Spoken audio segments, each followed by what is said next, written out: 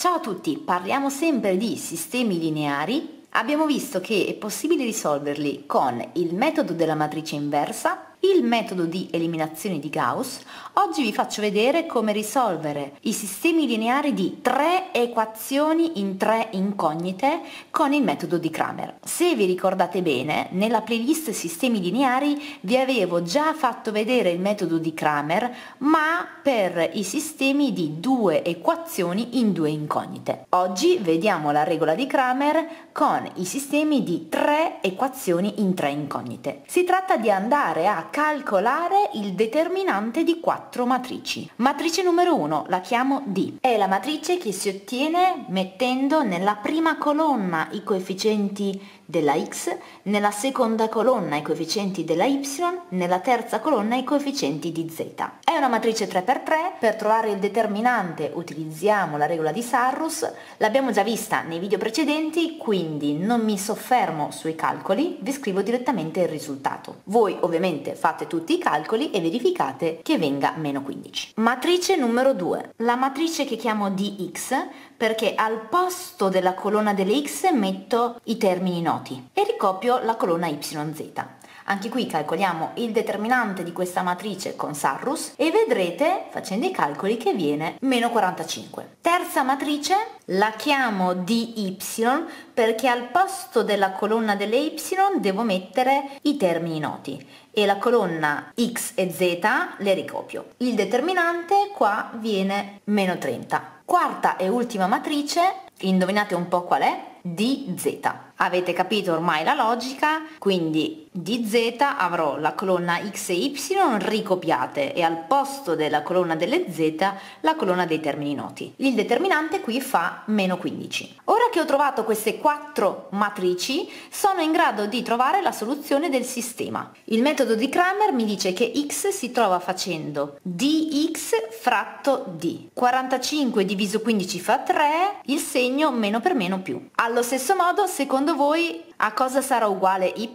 Esatto, di y fratto d. Anche qui meno per meno più 30 diviso 15 2. E infine z si trova facendo dz fratto d, ovvero lui diviso lui, che fa 1. La soluzione del sistema è questa. Piccola parentesi, quando risolvete un sistema lineare 3x3 con il metodo di Kramer, avete tre possibilità. Se il determinante della prima matrice, quindi D, è diverso da 0, ho un sistema determinato e quindi ho una soluzione, come in questo caso. Se invece il determinante della matrice D è uguale a 0 e anche tutte le altre tre matrici, quindi ho 0, 0, 0, allora il sistema è indeterminato. Terzo caso, se è uguale a 0 e almeno una di queste tre matrici è diversa da 0, allora il sistema è impossibile. Ricordatevi bene questo schemino. Non c'è bisogno di impararlo a memoria, basta ragionare.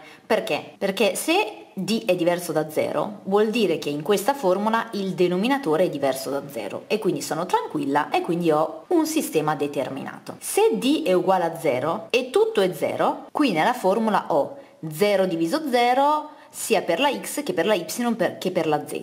Quando ho 0 diviso 0 nella formula il sistema è indeterminato. Terzo caso, se il denominatore si annulla e invece il numeratore no, per esempio pensate qua, meno 45 diviso 0. Io non posso mai dividere un numero per 0. Ed è chiaro che quindi il sistema è impossibile, ok? Questa è la situazione che potete avere quando utilizzate il metodo di Kramer. Ecco qua gli esercizi di oggi. Fanne un paio, oppure se ti va, falli tutti. Io adoro le matrici e quindi mi diverto sempre a fare tanti esercizi. Fammi sapere qui nei commenti come sono andati, se erano troppo facili, troppo difficili, oppure se hai bisogno di qualche chiarimento. Io vi leggo sempre e appena riesco vi rispondo. Buon allenamento! Dopo questa full immersion di esercizi spero che tu abbia capito benissimo questo argomento. Ti ricordo che se vuoi approfondire puoi guardare la playlist sull'argomento che ti interessa. Qui sotto al video trovi tutti i miei consigli.